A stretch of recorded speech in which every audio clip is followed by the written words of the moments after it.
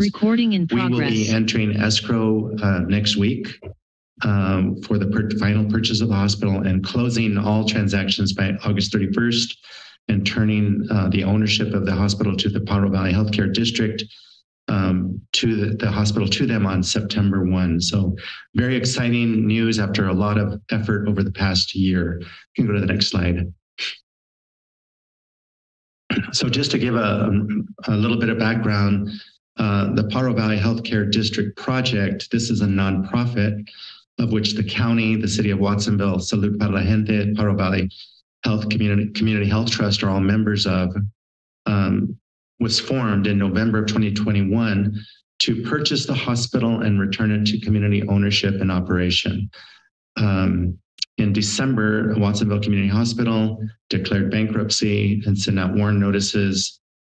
February 2022, um, the bankruptcy court uh, approved the Pajaro Valley Health District project, that is the nonprofit of which I am a member, as the lead bidder and finalized the sale. That was a very big moment that we were able to finalize that uh, sale agreement. And then urgency legislation was approved to form the Pajaro Valley Healthcare District. Uh, thank you to especially Senator Laird and Assemblymember Rivas for leading that effort. A truly remarkable effort to do such a quick um, uh, turnaround on that legislation. In March, the county um, board of supervisors established the Pajaro Valley Healthcare District, and you appointed five district members. Uh, and they have had they have um, had a very robust schedule. I've already had 15 meetings to date. Uh, the Santa Cruz County, we are providing the staffing to that district. We are we have fully stood it up, including providing um, the legal um, work, uh, the accounting work, uh, and then all, of course, all of the staffing work. So there's probably around 15 to 20 staff that have been working uh, a lot on standing up this healthcare district uh, in such a short time period. So the project in the district has developed um, a business plan with a number of very well thought of consulting firms um, to turn around the hospital in the next one to two years. Uh, that there's been a great deal of work in turn making sure that there's a viable and sustainable path forward for the hospital. It is going to be very difficult. It's a very difficult healthcare environment, statewide, nationwide. Uh, but we have a plan that we think is going to be successful, and it's the best plan um, that we could have developed, and the county has contributed to that as have other uh, community partners. On August 31, as I mentioned, the bankruptcy court will, has established the date to close the sale. We, we will be entering escrow, we believe, next week, and then the close will happen on the 31st. Go ahead and next slide. Um, the hospital, um, we have set a goal of $67 million, which includes the acquisition price as well as the operating capitals, uh, operating capital needs for the hospital for the first year of operation. Um, the Pajaro Valley Health District project and other partners have come together and we have raised $60 million to date.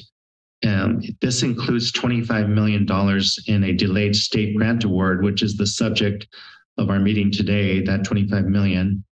Uh, there's a $6 million remaining funding gap. This is um, mainly the operating capital needs. We do have the funds sufficient to close the acquisition and complete the purchase. Um, so we um, anticipate getting the additional six million to cover the operating reserve um, by the end of September, and to come around to come together around the twenty-five million dollar delayed state grant.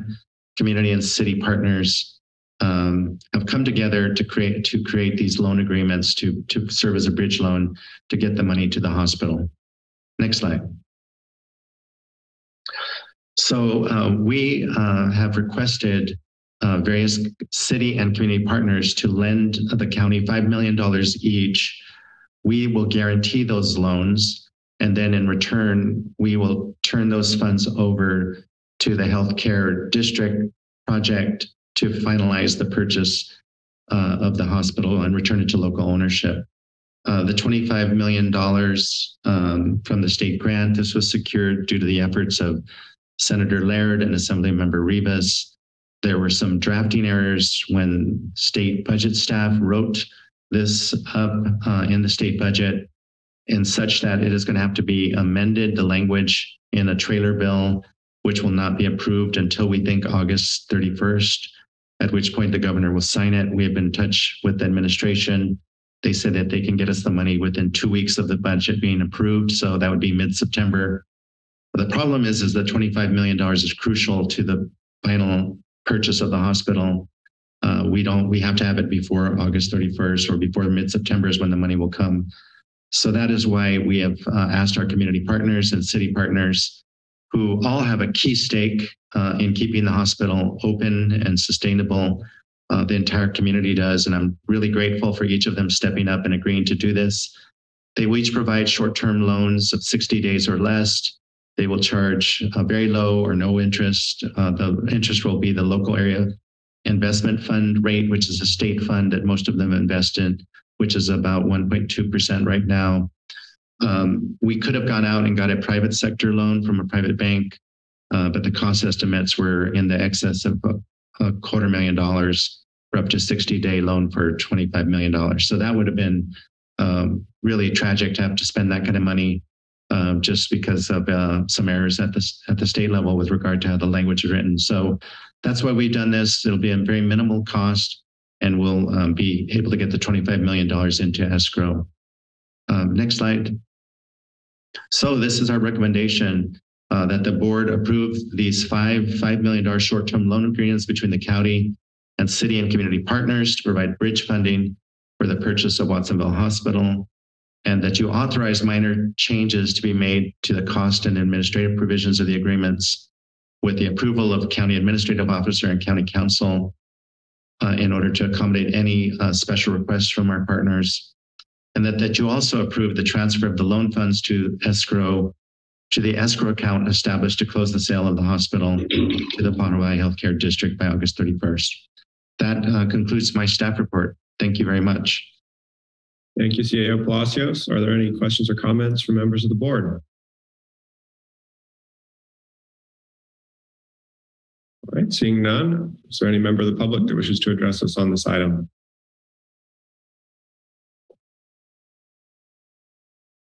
I see no hands raised. Uh, if you do wish to make a comment, click the raise hand button at the bottom of the Zoom screen.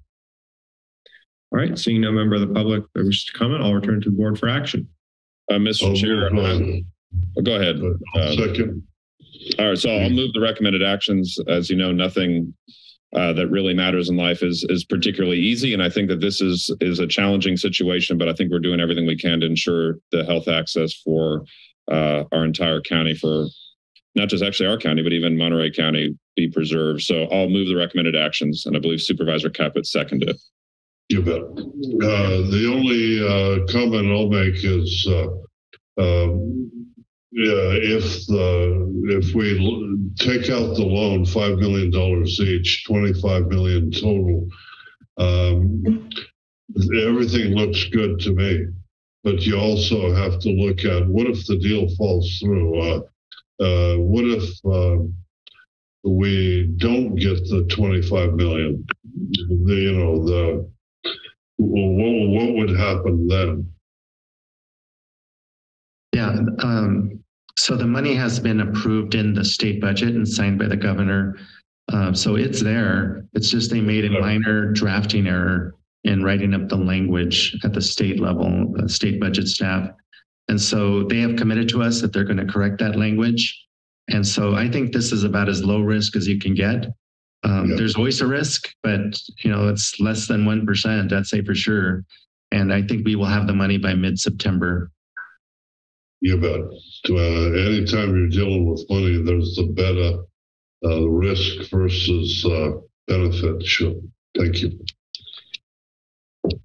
All right, we have a motion by Supervisor Friend and a second by Supervisor Caput to accept the staff recommendations. Any further discussion? Most important healthcare issue we can address in Santa Cruz County. Congratulations and a, a big thanks to those who participated. Yeah, I'll also extend my thanks to staff for just constant level of creativity uh, in overcoming these challenges. There's been numerous, uh, but keep keep getting us over them, and it looks like we're close to the end here. And uh, having met the management team at Watsonville Hospital, Stephen Sawyer and, and crew, um, and it's clear that we've got a good mix down there of experienced turnaround artists like Mr. Sawyer himself, uh, as well as longtime dedicated employees of the hospital that just really know the community uh, and the operations there. And uh, I think we've got a really great opportunity to turn the hospital around and I'm excited to, to finally get to the moment where we truly transfer this organization. Yeah, one one more quick uh, uh, question. Uh, there's a uh, still a six million dollar gap, right? Uh, even after the twenty five million, and uh, is there a, a, deadline on that? Yes, um, we have um, we do have secure we have secured the funds to actually complete the purchase. So the purchase is going to happen. Uh, the question is that we wanted to have at least $10 million of operating capital for the hospital to get through the first year of operations, um, be, to give them time to turn around their operations to be in the black. Uh, we are short about $6 million for that goal. We're, we've set a self-imposed goal by the end of September, raising that last 6 million and we believe we will be successful. It's amazing the amount of community partners and businesses and nonprofits and uh, statewide and local uh, businesses have and individuals have all come forward to help us, and we're confident we'll get there uh, by the end of September. All right. If there's no further discussion, clerk, please call the roll. Supervisor Friend, Aye. Coonerty, Aye. Caput, Aye. McPherson, Aye. and Koenig. Aye. Item passes unanimously. Thank you. Then that brings us to the end of our special meeting agenda. The next regular meeting of the Board of Supervisors will be next Tuesday, August 23rd at 9 a.m. Thank you, everyone. Good. Thank Thank you. Adjourned. Thank you, everyone. We'll see everybody Tuesday. Thank you. Thank you. Recording stopped.